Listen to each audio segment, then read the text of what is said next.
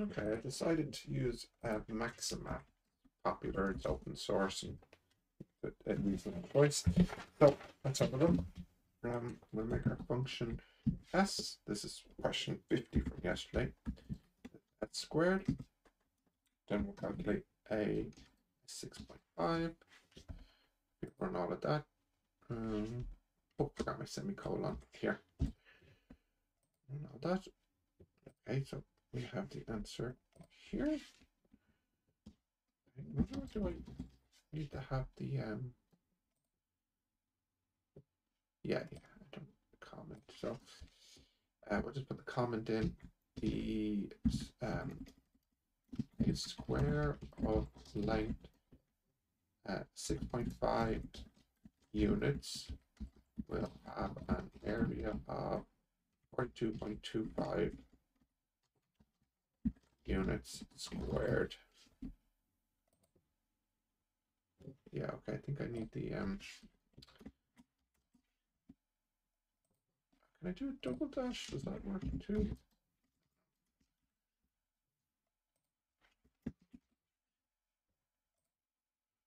Yeah, okay. And then lastly, we want to solve when the area is equal to 56.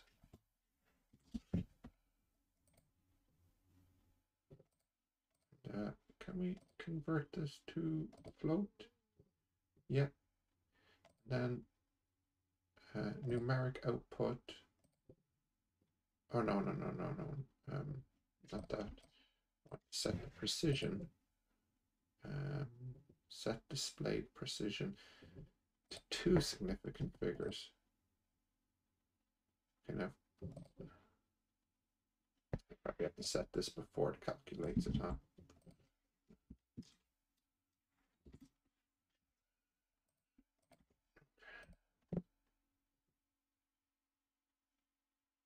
Mm-hmm.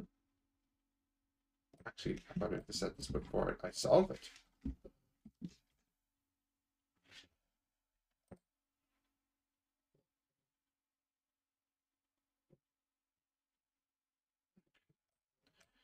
Then let's convert this to numeric.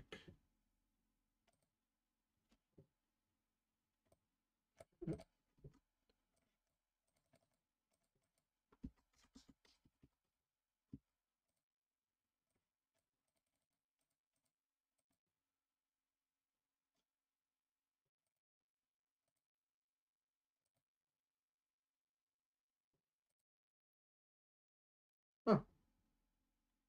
Bit strange.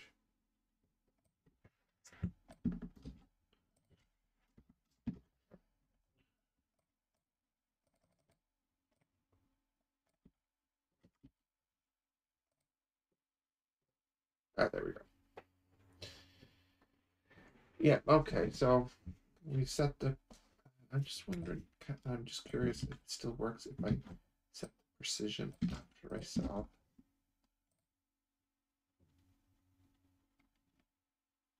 No, I have to set it before I solve it and then convert it to numeric afterwards. Oh, uh, 7.4 looks like to be the answer. 7 point. Oh, no, hmm. Should have rounded that actually. So, um, oh, hmm, this isn't quite right. I want to round the answer to, I don't want to just truncate it. Mm, okay, one moment. Right, I found how to do it. So what you have to do is set the precision, in this case, to 2 first, and then convert this to bfloat. And then it should work. Now I wonder if I can just do float. Does it have to be bfloat? Yeah, yeah. Okay. Uh yeah. Okay, let's run this now. Sticks a little B0 at the end. Let's not fret about that. So we get an answer of 7.5. Okay. Yeah. 7.5 then. Okay. Okay, that's good. That's good. Uh, let's continue now. Okay.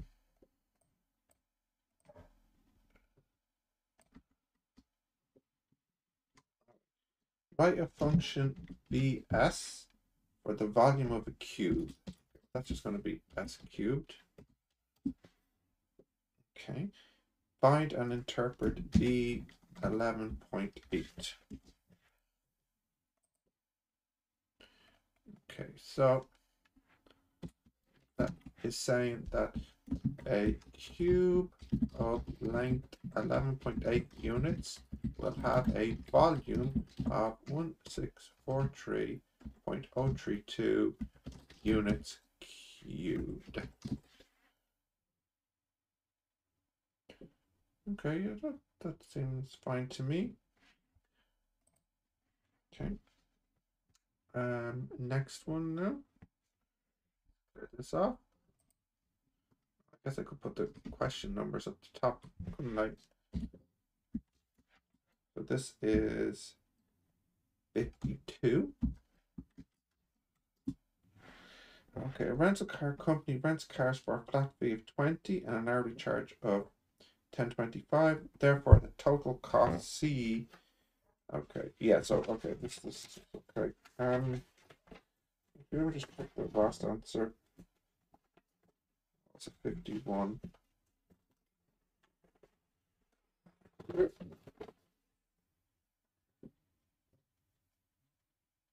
Oh, did I say two? It's interesting, so the answer at the back 51 doesn't give um the full decimal. I think it's kind of funny. Um, that doesn't say anything. Doesn't say anything about rounding in the last one. That's a bit strange. Okay, uh, a rental car company rents a car for a flat fee of 20 and an hourly charge is 10.25. The cost, okay, so the cost for the time is the flat fee of 20 plus 1025 multiplied by the time. Yeah, okay, so that looks okay. Find the total cost to rent a car for two days and seven hours. Ah, so two, so this is per hour, isn't it? Yeah, so two days, so that's two times 24 plus seven hours. Okay. And then we want to solve CT equal to 432.73. Okay, let's see. Oops. Oops, forgot my semicolon. Okay. Hmm. Maybe we should uh, round this up. So I'll just do a float. 40. But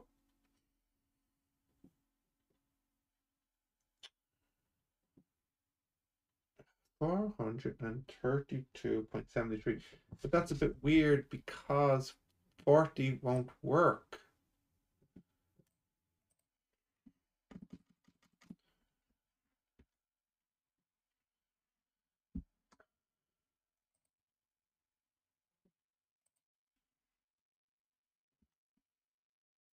Mm, because if you type in C40 and C41, you get 430 which is not quite enough.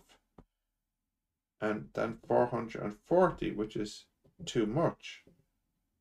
So the amount that they give is not possible.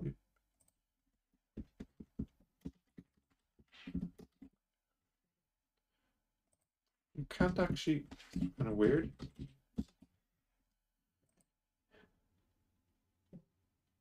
Whoops, I accidentally typed a bracket somewhere.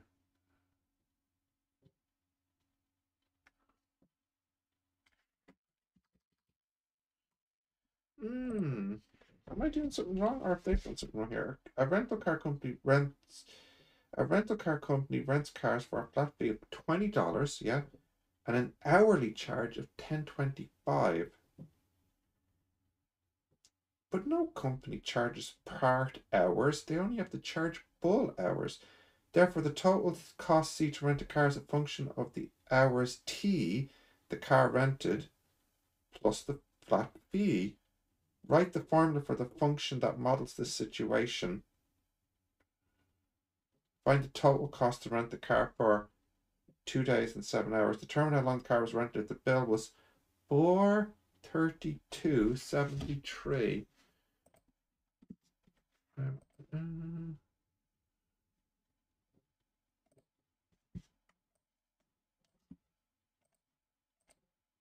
Um,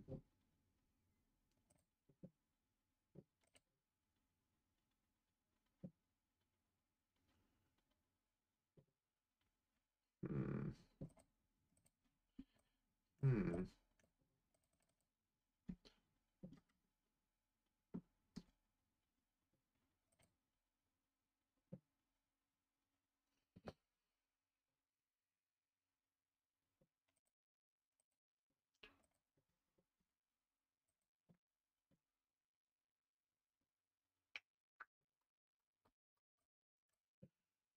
Hmm. Hmm. Hmm. I don't. Huh.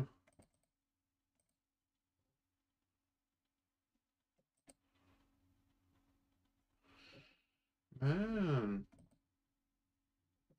I think this one is wrong. I've just been looking and looking at this, and you know, I just think it's a bit weird. I think this car company must charge by the quarter hour because the answer that we got. So I'm just going to say, um, you uh, the car was rented for uh 40 hours and 15 minutes. Ugh. But let me just actually check if that works. Cost for 40.25. Does that even work? Mm, no, that that's not even right. The car's charging per minute. That's ridiculous.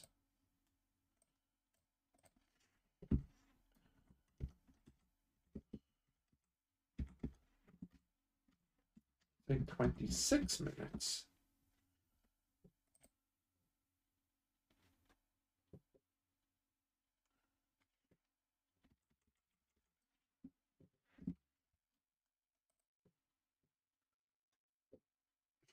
Hmm.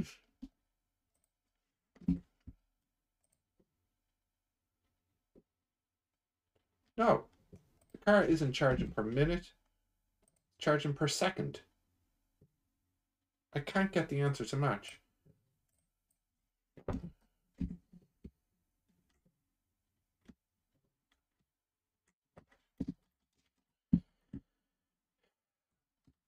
But no answer will, or no reasonable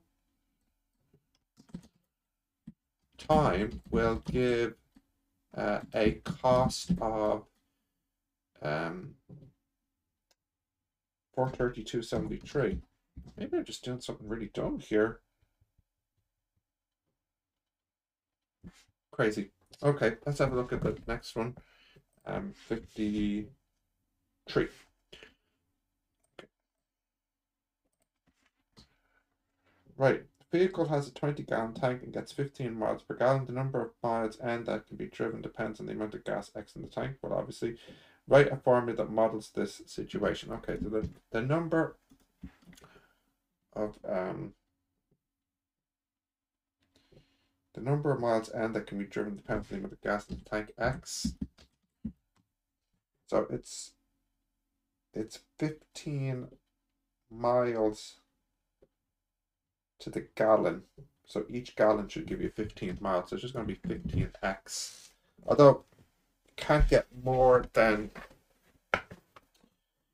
uh, you can't get more than 20 gallons into the car. So you can't get more than 15 times 20. It's like 300 miles. But I don't think we have to worry too much about that. Just yet, anyways. Okay, so that takes care of that. Then how many miles can you get on a full tank? 20 gallons. Then how many miles can you get on three quarters of a tank? Okay. Get 300 miles on a full tank and 230, 225 miles on a three quarter tank. Um, well, domain, well, the x can just be um, some number from 0 to 20 inclusive, I guess. And then